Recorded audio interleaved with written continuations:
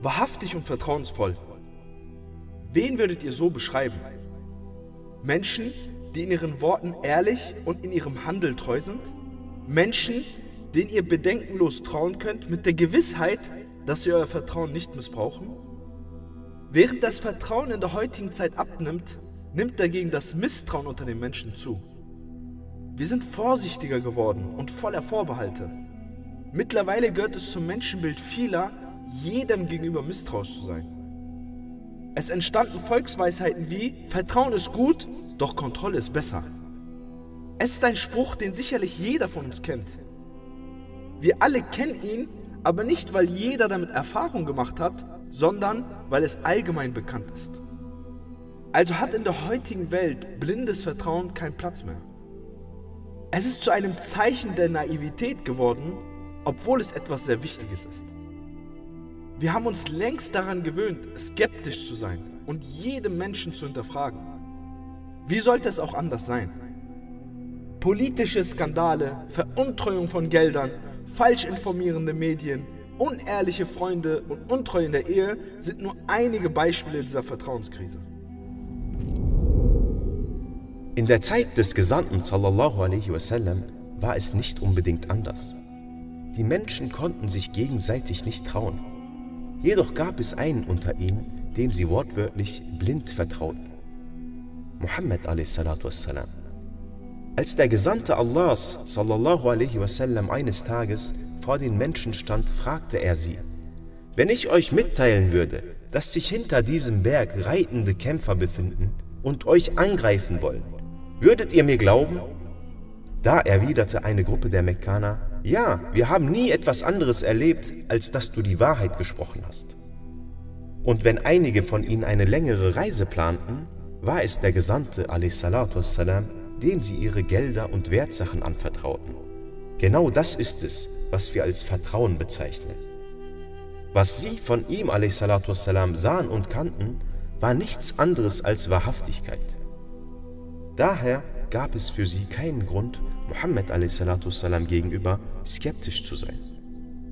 Dieser Ruf eilte ihm unter allen Mekkanern voraus, sodass sie ihm den Ehrentitel Sadiqul Amin gaben, was sinngemäß der Vertrauenswürdige oder Wahrhaftige bedeutet. Seine Worte waren gewiss und seine Taten aufrichtig. Sie kannten seinen Standpunkt und seine Geradlinigkeit. So vertrauten sie ihm bereits lange vor seinem Prophetentum, denn er sallallahu alaihi wasallam tat das, was er sagte und sagte, was er tat. Heute hingegen sind sich viele selbst nicht treu und verlieren leicht ihren Standpunkt, wenn sie davon profitieren. Schon immer hatten Menschen bestimmte Einstellungen und Prinzipien im Leben. Doch nie wurden diese so leicht aufgegeben wie in der heutigen Zeit. Profit und Nutzen anzustreben, liegt in der Natur des Menschen und ist in angemessenem Maße auch nichts Schlimmes daran. Das Verwerfliche der Moderne jedoch ist den Nutzen über alles andere zu stellen und sogar unsere Tugend davon abhängig zu machen. Vom Politiker, der unserem Wohl verpflichtet ist, sich aber nur an seinem Job bereichert, die Medien, bei denen die Lüge zum Tagesgeschäft gehört, bis hin zum Freund, für den sich die Freundschaft lohnen muss. Wie sollte es denn in so einer scheinheiligen Welt anders sein und keine Vertrauenskrise geben?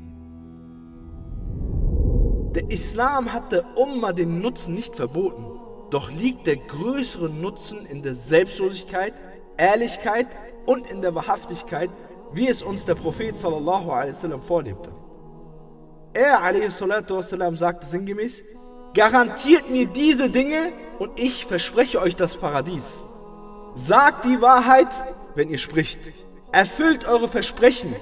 Seid zuverlässig, wenn euch etwas anvertraut wird und haltet eure Hände davor zurück, anderen zu schaden. Für das wahre Vertrauen unter den Menschen sind diese Tugenden notwendig, denn es sie ermöglichen Harmonie und Glaubhaftigkeit in einer Gesellschaft. Das ist der Standpunkt, den wir als Muslime einnehmen müssen. Im Trachten nach dem Wohlwollen Allahs und seinem Paradies sollten wir unsere Tugenden wahren, bis wir selbst zu den wahrhaftigen und vertrauensvollen gehören und um der Welt ein Vorbild zu sein.